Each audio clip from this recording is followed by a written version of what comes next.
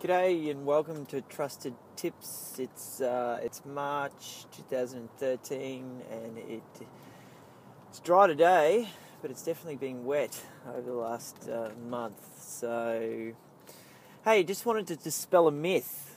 Um, I just had a real estate call me and uh, she was informing me how the owner of a particular property was led to believe that if termites are in a tree stump, they will stay there that is a definite myth and it is completely untrue. Termites will be using the stump and they will stay there as a source of food, but they'll nest there. And what they do is they go off and forage and they'll be looking for sources of food, and the nicest sources of food is your home.